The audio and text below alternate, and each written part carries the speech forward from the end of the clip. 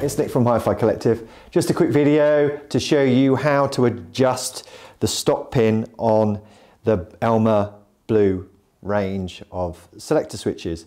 So the Elma Blue, we have three different types, the 01-1264, the 15mm version of that, and the 012263. So these are all six positions. So when you buy them, you can hear there's, there's position one, two, three, four, five, six. But say you want to buy, you, you want four positions. So you buy this plastic stop pin, which is needs a bit of a close-up view. So we have our shaft turned all the way anti-clockwise. So you're in your first position, so one your first pole. Then we're going to insert the stop pin. You can see that there's a ledge on it. So you can see the ledge there? So the ledge part is goes points towards the center of the shaft. Okay, now you can see here these holes.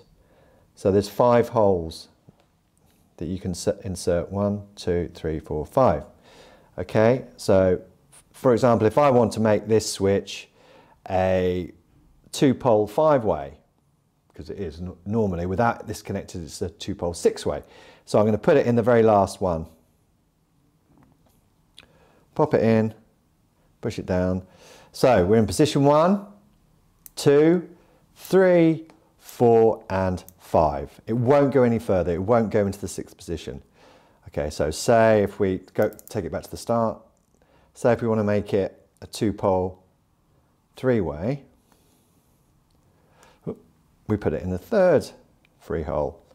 So one, two, three. That's that one. Push it in. So one first position, yeah. Second, third. It won't go any further. And that's the way you do it. Pretty straightforward. So this works for all the blue, the two pole six way the, two, um, the four pole six way and also there's a different shaft length version of this as well. So that's one, that's done. Just before Brilliant. I sign off, I want to say a big thank you for watching our videos. Like and subscribe and follow us on all the social network platforms. See you later.